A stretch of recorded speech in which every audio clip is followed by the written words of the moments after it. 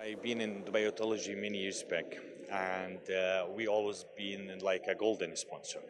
Then this year, when I had a, a, a very long meeting with Dr. Ahmed Al Amadi, I told him I don't like to be a gold and just a sponsor. I'm thinking to be a partner of this.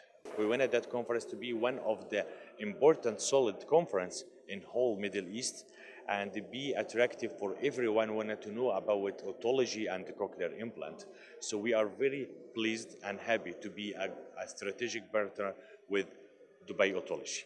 I have to say I'm very thankful for the organizer committee. I'm very thankful for the organizer company for everything to end up with very successful conference here.